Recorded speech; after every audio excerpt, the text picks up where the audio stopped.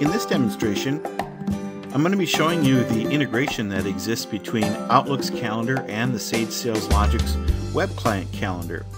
It is a two-way synchronization and it's also uh, has an ability called push, which automatically, upon creating a new appointment in your Outlook calendar, synchronizes that instantly into your SalesLogix system. Now for today's demonstration, I'm going to be showing you that manually, but again, it can be set uh, on a per user basis to happen automatically without any screens popping up or any user inter intervention required. So here we're looking at today's calendar in my Outlook system, and on November 23rd, I don't have anything currently scheduled. Let's look at the same calendar view in the SalesLogix system, and that one's empty as well. So we'll jump back to Outlook. We'll go ahead and drag between 3 o'clock and 4 o'clock, click on New, and just put in that I have a presentation with a new prospect. And I'm going to save that. And as you can see, it has put that appointment in my Outlook calendar.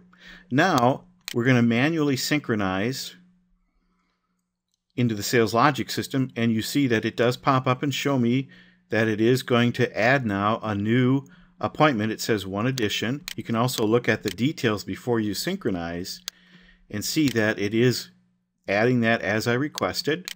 So we click on accept. The sync process finishes.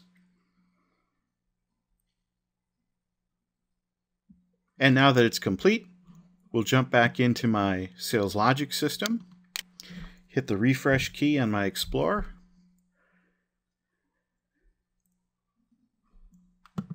and now you can see that there is a new appointment scheduled, 3 o'clock to 4 o'clock, identical to what we had in the Outlook system.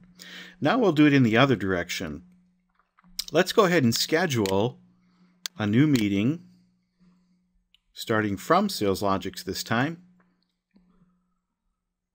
And we'll have a start time of 1.45 p.m. for today. And click OK. And so now you'll see that a second meeting has been created in SalesLogix this time. And now we'll go ahead and run the synchronization. You can see that it's about to add another calendar record. We'll check the details again. And there it is coming from SalesLogix with the subject of John Abbott. We'll go ahead and accept that, let it finish. And it's already popping up an alarm on me over in Outlook. So we'll just take a look at that. I'm going to dismiss the alarm.